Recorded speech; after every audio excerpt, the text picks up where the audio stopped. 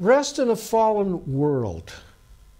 If rest was of value before the fall, the sin of man permeating man and his entire being, rest would certainly be of great or even greater value in a world of thorns and sweat and child labor and heartache and infiltration of sin in the human being and the human society.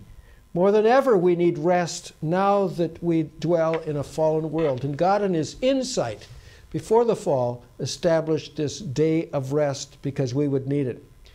And Lois, if you'll read again here from Genesis chapter 3, verses 17 through 19, after the fall. Cursed is the ground because of you. Through painful toil, you will eat of it all the days of your life. it will, it will produce thorns and thistles for you, and you will eat the plants of the field. By the sweat of your brow, you will eat your food until you return to the ground since from it you were taken. For dust you are, and to dust you will return. Again, Abraham Heschel has spoken very appropriately. He uses the illustration of an island. An island which is like the seventh day, a day of rest a day of detachment from things, from instruments and practical affairs, as well as of attachment to the Spirit. Imagine that we were all out uh, swimming, and every day our work was to swim, to tread water, to stay afloat. And it'd be hard work. And we'd learn various uh, strokes uh, the front crawl, uh, as we swam in the water all together. This was our work, our labor. And it'd be tiresome, so we'd learn how to float on our back, swim on our side. And day after day, this would happen. But there was an island that would appear on the seventh day. After six days of swimming, and our skin would be wrinkled, and we'd be very tired, wore out from every day swimming, staying afloat for survival. So some saw the island and they would say, Let's go on the island for a day.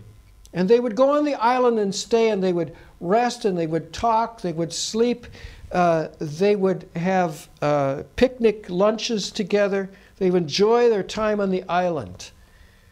And then they'd go back in the water, but they would go back more refreshed. And for a few days after the island experience, which would be like a Sabbath, they would talk about the wonderful times they had on that day and how restful and how they fellowshipped, how it eased and how it strengthened them, and how good life is, especially when you can pause and not have to swim and beat the water and find various strokes to survive. And so, toward the end of the week, they would again feel weary and wanting that island experience. And so, after the first few days of the island experience, then after that they would begin to think and anticipate, oh, I just can't wait till we have that break. Have that time when we again rest in the sand and we can run on the earth and we can play and we can laugh and we can sing and have a good time together. And so we look forward to that time. And so week after week they were able to su- survive able to thrive because the island appeared and they rested, apart from the six days of constant labor of swimming. But there were some who said, No, I can't afford to go on that island. I must stay working. I'll fall behind. I will lose my pace. I'll forget how to swim. I'll forget how to work if I pause and take that time away from my labor at the sea. Others would enjoy, they'd be happy, but those who stayed in the water became ever so weary. No, I, am afraid to go on the island. I'm afraid maybe I won't be able to swim. Maybe I'll fall behind in my work. Others will get ahead of me. Until finally, those who refuse to take the island eventually fade away one by one, disappear into the water because they are so weary. They are so tired out. And they are, it's so monotonous, day after day, the same thing. Their skin would be wrinkled and eventually fade and fall and sink to the bottom of the sea. How sad to think that God offers rest, an island of rest weekly. But some of us think that we'll disappoint God if we take that rest. We think that we must work seven days in a row, 24 7, always, constantly. And we have failed to see that God has given us rest, a time to pause and make our work bearable. Even if we enjoy it, it becomes too much for us to bear if we don't make use of the island, the holy segment of time which he has called Sabbath.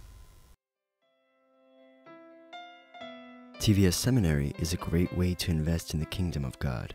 Please consider making a donation to support this effective educational and outreach ministry today. We exist upon your gracious giving. Please donate to support TVS Project's continuation and growth. For more information, visit tvsseminary.com.